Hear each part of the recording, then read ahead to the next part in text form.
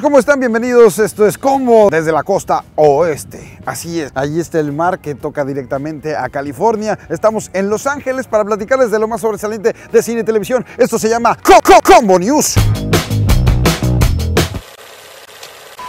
Estamos en una zona de Santa Mónica donde están súper locos aquí. Este cuate está pues entrenando básicamente, debe de ser parte de algún rollo circense, debe de estar preparándose para hacer algún casting en alguna obra de teatro, algún Cirque du Soleil, no sé. Toda esta área está lleno de tipos eh, muy atléticos. Esos cordones que los ven sirven para hacer cuerda floja. Allá está haciendo otro tipo brazo, más o menos igual de fuertes que yo. Este es el contexto para platicarles de lo más sobresaliente de los últimos días. Tenemos un detrás de cámaras que nos saltaron de parte de los señores de Dumbo. Tim Burton tiene una versión cinematográfica de eh, aquel eh, dibujo animado y aquí tenemos un detrás de cámaras.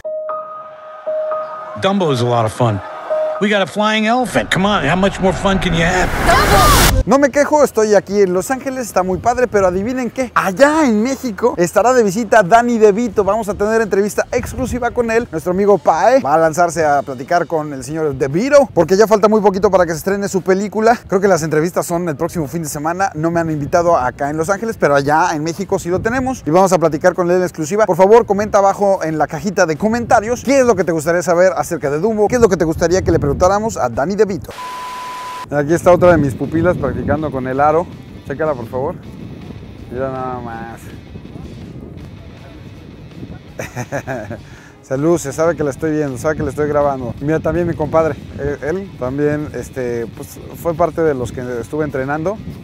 ¿Quién dice que es fácil? Nadie dice que es fácil. Solamente yo que lo sé hacer, pero no les puedo enseñar ahorita porque estoy trabajando, platicándoles de cine y los proyectos que están en desarrollo actualmente. Sí, se está desarrollando actualmente la segunda parte de Edge of Tomorrow, la película protagonizada por Tom Cruise y Emily Blunt que eh, causó un poco de controversias, que se armeaba la secuela, que no, que sí. El punto es que sí se está haciendo y si quieren controversias, ¿qué les parece los remakes que están preparando? Se supone que están en el escritorio proyectos para volver a hacerlos desde el principio, proyectos como Mad Max y Matrix, dos de los clásicos contemporáneos que tenemos en nuestro cine, se quieren volver a hacer, obviamente adaptados a las nuevas generaciones para que los vean, historias pues muy chidas, de eso no existe duda, pero lo que existe duda es que las generaciones que crecieron con esas películas les perdonen que hagan esos filmes de nueva cuenta. Mientras tanto, otras secuelas que se confirmaron esta semana, Aquaman 2, que estaba súper, súper cantada, Gato con Botas 2, esa película que ha estado en el tintero durante muchos, muchos años, y Hotel Transilvania 4. Esas son las próximas continuaciones de franquicias que próximamente verán en el cine.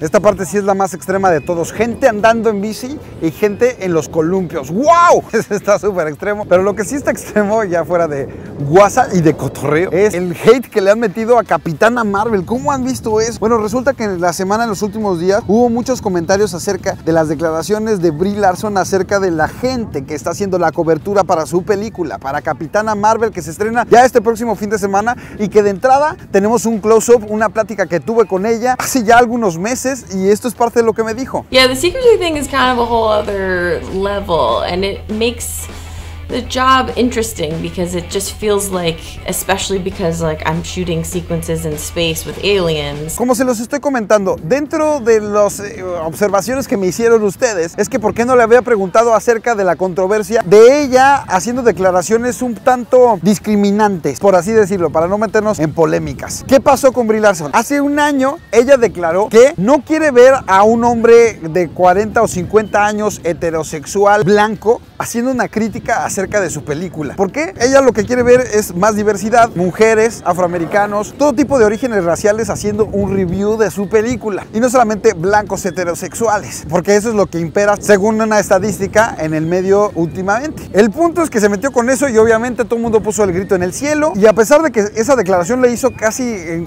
junio del año pasado, apenas en los últimos días la revivieron, la desenterraron y dijeron, miren lo que está diciendo Brie Larson, pregúntenle. Obviamente ella ha dicho que no lo hizo con ninguna mala intención, simplemente que quiere tener más inclusión. Pero imagínense cambiar las palabras. Imagínense que ella en lugar de haber dicho la palabra blanco, hubiera dicho la palabra negro. El mundo se le hubiera ido todavía más encima diciéndole qué te pasa. El punto es que la polémica está muy cañona. Y ponle la palabra que quieras, mexicano, negro, hispano, hindú, lo que quieras. Alguien diciendo, no me interesa la opinión de tal sector de la población, está delicado. Así que toda la polémica que ya tenía encima la película se ha nutrido un poquito más. Hay páginas páginas enteras de internet buscando sabotar a Capitana Marvel. En Rotten Tomatoes hay un porcentaje de expectativa acerca de las películas y una página hizo que del 90%, 99% que tenía de expectativa bajara hasta el 29%. Una cosa de locos lo que está viviendo. Esta película, como se les digo, ya se va a estrenar y nosotros tendremos la última palabra. El jueves a la medianoche se estrena, así que ustedes y yo la veremos en su momento. Yo no la he visto, vi apenas footage y es parte de la complicación que muchas veces tenemos nosotros como medios de comunicación. Nos enseñan 10 minutos de película, 5 minutos de película y con eso tenemos que hacer una entrevista completa y además que nos ponen a hacerla desde meses antes. O sea, el año pasado la hice y hasta ahora se las puedo compartir. Sin embargo, le damos la vuelta para que sea lo suficientemente entretenida y sobre todo lo que a nosotros nos interesa, que sea una buena historia, entretenida, superhéroes en el cine, es lo que amamos muchos de nosotros y eso es lo que se van a encontrar en este close-up que ya se encuentra aquí en Esto es Como. Tenemos nuevas imágenes de Dark Phoenix, una película de X-Men que ha tenido muchos problemas en el camino, ya se los, le hemos dado el seguimiento durante meses, prácticamente años ya. Y tenemos nuevo footage donde Jean Grey está bien encabronada y eso es poco decir. Vean ustedes. You're my family, Jean. Stop, no matter what. Stop, stop, amenaza a todo mundo y de hecho como que nos dan a entender en el tráiler por lo menos que se muere un personaje importante. Parece ser que Mystique se muere o la mata Dark Phoenix. Prácticamente la pachurra la cabeza a Magneto. El punto es que nadie puede detenerla. ¿Qué va a pasar con Sophie Turner interpretando a este mítico personaje, este personaje tan poderoso del universo Marvel? Ya lo veremos y esperemos que nos sirva de teaser para las siguientes películas donde tal vez los X-Men y los Vengadores se puedan juntar. What they don't understand, they fear. And what they fear, we seek to destroy. This is your fault, Charles. Y hablando de gente con fuego y gente roja, pues qué les puedo decir, Hellboy sigue con su campaña preventiva eh, previa a su estreno y tenemos un par de pósters, un par de imágenes que nos soltaron, además de un nuevo tráiler. Chequen ustedes. Great. Homework. Why do you fight for those who hate and fear you? Ahí está la fecha de estreno de Hellboy, ahí está la fecha de estreno de Dark Phoenix, próximamente en cines. Otros que están preparando un lanzamiento brutal con una cantidad de series y películas impresionantes son los señores de Disney a través de su plataforma streaming llamada Disney Plus. Y resulta que están desarrollando un proyecto bastante interesante llamado Book of Enchantment, que va a tratar de una especie de Liga de la Injusticia. O sea, una coalición de todos los personajes villanos de las películas de Disney. Imagínate en un mismo lugar a Hook, a Úrsula y a cualquier cantidad de, de villanos juntos confabulando para darle en la torre al mundo entero para conquistar a este planeta y las combinaciones que se pueden hacer, en cuestión de maldad y en cuestión de conflicto de intereses, podrían ser muy interesantes. Esa historia, esa serie se está desarrollando en este preciso instante. Oigan, y como parte de esta lucha encarnizada de parte de las diferentes plataformas online para mostrarte nuevo contenido, otra que se está metiendo poco a poco en la competencia es Facebook. Y tenemos el primer tráiler de la primera serie como más fuerte, más grande que se está dando en esta plataforma. Es protagonizada por Will Smith y se llama Bucket List. I've achieved everything I've dreamed. And I know that fear of the unknown is keeping me from that divine wisdom. Bucket list, para que no tenga como tan familiarizado el término, es como este jarrito de deseos, de cosas que, que, tú tienes pendientes en tu vida. De hecho, tú puedes hacer tu bucket list de cosas que quieres hacer antes de morir. Lanzarte de paracaídas, eh, surfear, nadar con tiburones, robarle un beso a alguien, no sé, decirle a alguien que estás enamorado de ella. Ustedes deciden, es parte de su bucket list y parece ser que Will Smith está matando dos pájaros de un tiro, está haciendo dinero, más bien ya hizo dinero, está cumpliendo sus sueños y además dándonos entretenimiento. ¿Cómo la ven muchachos? Yo lo que deseo es que haya un salvavidas como en aquellos 90, estaban los guardianes de la bahía, estaba Pamela Anderson en estas mismitas playas que les estoy mostrando y ahora miren, está cerrado. Aquí no va a pasar nada, no se necesitan salvavidas.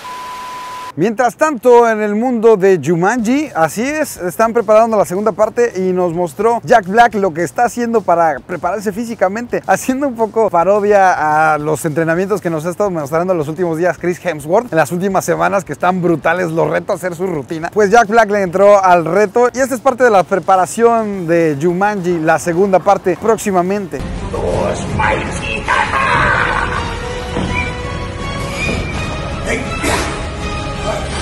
Oigan, eh, en cuestiones de negocios, ¿qué les parece toda la novela que traían Disney y Fox y todos los involucrados? Porque no sabían si se iban a comprar los derechos o no. Y resulta que los dos países que estaban atorando un poco la negociación, irónicamente, eran México y Brasil. Porque hay una ley que protege, digamos que, los derechos eh, de las transmisiones, del entretenimiento. Y resulta que, que si Disney compraba a Fox, pues iba a también tener los canales de Fox Sports. Y entonces, pues eso no les estaba gustando mucho a los señores de Televisa y TV Azteca, porque imagínense que se fusionara Fox Sports con ESPN, porque ESPN es de Disney, ya se los había comentado en algunas ocasiones. Imagínense tener juntos a Fox y a ESPN, le iban a dar en toda la torre a TV Azteca, a Telemundo, a Univisión, a, Televisa, etcétera, etcétera, etcétera. Entonces no querían que se hiciera ese nuevo monopolio. El punto es que al parecer parte de la negociación va a ser que Disney tenga que vender los canales de Fox a otra persona, Fox Sports a otra persona y quedarse nada más con ESPN para que no todo esté junto en un mismo lugar y que sea una sola persona el dueño de todas las canicas. Esto es un paso más adelante para que por fin tengamos a todos los superhéroes de Marvel juntos. O sea, a todos los X-Men y a los Cuatro Fantásticos. ¿Lo lograremos algún día? ¿Quién sabe? Los 80 están de regreso y ya se los habíamos como teasereado. Ya es toda una realidad. Hay una nueva serie de los Critters y aquí nos soltaron el primer teaser trailer para que ustedes lo chequen.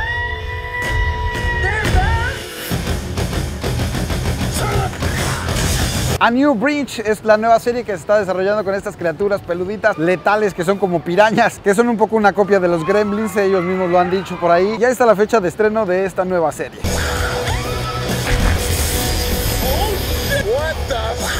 Mientras tanto, hablando de este revival de los 80, ¿se acuerdan de estos binoculares? Se llama Viewmaster. Es como la realidad virtual para super ancianos. El tatarabuelo de esos lentes de realidad virtual. El punto es que eran unos disquitos que te ponías y empezabas a ver como una película a través de algunas imágenes. Hoy en perspectiva estaba súper chafa, pero en ese momento es brutal y estaba padrísimo. El punto es que van a hacer una película basado en este juego. No sabemos cómo le van a hacer. Seguramente van a sacar una jalada que no tiene mucho que ver con esto, pero el punto es que le van a rendir tributo a través de una película. Aquí algunas rapiditas, no se me pongan tristes, también los fans de Gremlins van a tener su propia serie, pero va a ser animada, está en desarrollo. Continúan los planes para ampliar la franquicia de Walking Dead y van a encontrar más spin-offs que incluyan a los personajes originales, además de las películas que se encuentran en desarrollo donde será el regreso de Rick Grimes, entre otros. Otra que está en desarrollo es la nueva temporada de Titans y el nuevo personaje de superhéroes que se va a unir a la franquicia será Superboy. Y tenemos actor, él es el indicado, él es el elegido.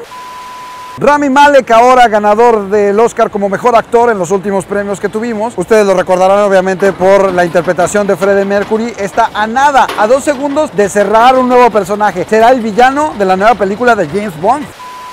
Oigan, una muy mala noticia. Murió el actor que le diera vida a Dylan, el más galán de todos los de Beverly Hills 90-210, que de hecho tenía su casa aquí mismo en esta misma playa. Es una serie que todas treintones, cuarentones, cincuentones seguramente se acuerdan. Y a sus 52 años, hace unas horas, murió. Descansa en paz, Luke Perry. Oigan, y otro que también dio nota en la semana, además de que sacó el tráiler completo de Shazam y que nos vimos inmersos en todo este hype. Véanlo primero, por favor. This is proof of authenticity. restraint! Electricity manipulation! Hyperspeed. Así es, Shazam, ya falta también muy poquito para que se estrene. Y ustedes sabiendo, digo, los más clavados en los cómics saben que el primer Capitán Marvel fue Shazam. Y después se hizo ahí por rollo de derechos y demás cuando inventaron a Captain Marvel de parte de Marvel Comics. Pero el mismo Zachary Levi fue el, el que se encarga de eh, pues calmar las aguas porque estaban echando a pelear a los dos, a Brie Larson y a Zachary, a Captain Marvel y a Shazam. Y Zachary nos soltó este comunicado. For anyone out there who thinks you're doing me a favor or you're doing Shazam a favor or you're doing Warner Brothers or what you're not. You, this is not helping anyone or anything. Hagamos el amor, no la guerra, muchachos. Yo soy de esa misma filosofía, así que chida la banda por parte de mi amigo Shazam, que está a nada de estrenar también su película. Tenemos nuevos pósters, nuevas imágenes, nuevas portadas de parte de una de las revistas más importantes de cine aquí en Estados Unidos con los personajes de Game of Thrones. Disfruten los muchachos.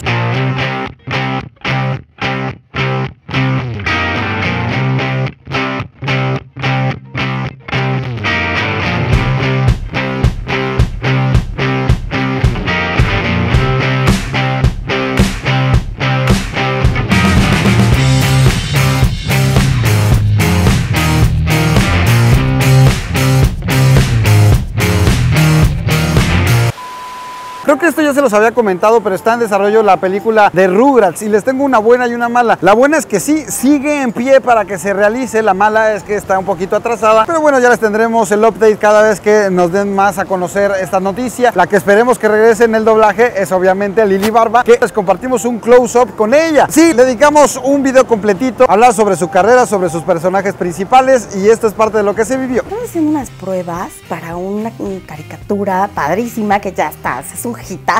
No le dan a la voz, entonces, a ver, ven, paso y era la prueba de Carlitos. Entonces, cuando yo llegué, les dije, hola, yo soy Carlitos, y payales. Y entonces me dijeron, no, te sale igualita. Si quieres ver el video completo, ya está disponible aquí en Combo, el close-up a Lili Barba. En estos últimos días soltaron el más reciente tráiler de Detectiva Pikachu y tenemos dos noticias que se dieron a conocer dentro de este tráiler. Chequen ustedes. So, I made my way to the apartment, and that's when I found you and your stapler gun. Talking. You're hallucination. You're a hallucination. Bueno, la primera noticia es la que todo mundo queríamos que se diera a conocer, es que la voz en español iba a ser Pepe Toño Macías, porque él es el encargado de darle vida y personalidad últimamente en los últimos años al señor Ryan Reynolds. Ryan Reynolds en inglés hace la voz de Pikachu y Pepe Toño Macías será la voz de Pikachu en español. Mientras tanto, también se dio a conocer, y lo que ya les había cantado, que el bueno Mar Chaparro no va a ser un Pokémon, no va a ser Pikachu, no va a ser otra cosa más que él mismo va a ser un entrenador Pokémon y tiene un Charizard, está cabrón, tiene, o sea, tener un Charizard, por favor, ni Obama tiene uno de esos. Ahí la tienen la fecha de estreno de Detectiva Pikachu próximamente en cines.